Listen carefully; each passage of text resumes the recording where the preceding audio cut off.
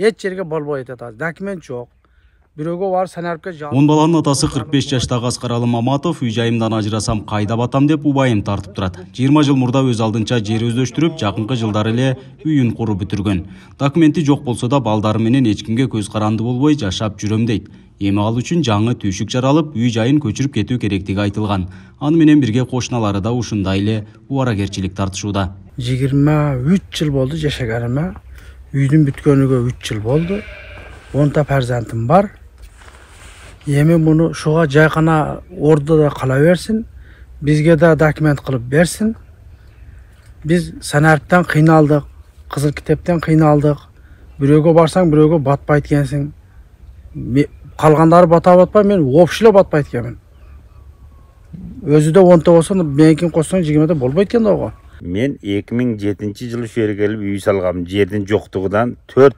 үйдө төрт бир тууганбыз төрт бир туугандын балдары баткан эмеспиз ошондон ушул жерге келип жерди меме кылып токтомо алып салганмын дача катары анан эми азыр санариптен кыйналып балдарды же бир жерге кое албайбыз же меме кыла албайбыз.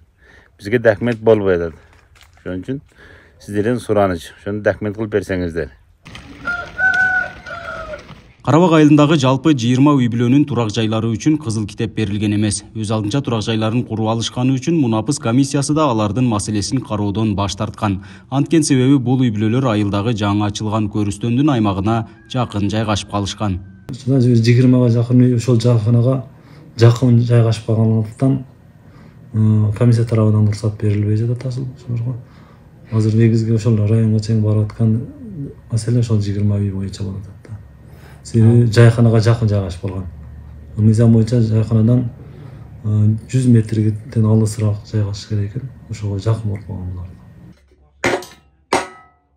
Беш баланын атасы махмуд башировдун үйү да көрүстөнгө жанаша турат. Айылда туруктуу жумушу жок. Балдарына да жөлөк пул каралган эмес.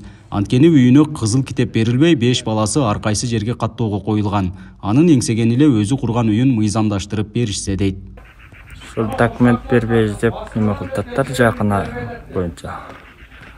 Ошо бизге документ керек. Документ бергенде жакшы болот азыр базага тура албай атабыз бир масая турулайын десек документ жок. Ошондон кыйналып анан ошол жүгүрүп атабыз да азыр болбой атат бизге документ берген жакшы.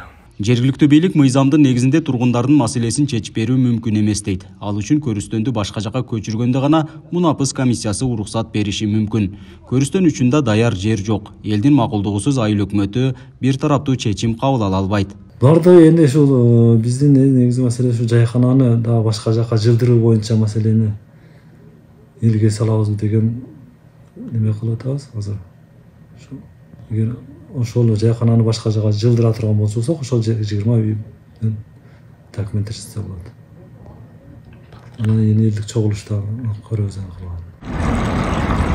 карабак айылында жалпы тогуз миң эл жашаса айыл өкмөт боюнча үч миң беш жүз адам тамарка алууга кезекте турат. Жер тартыш болгондугунан бир үйдө үч кожолук жашагандары да кездешет.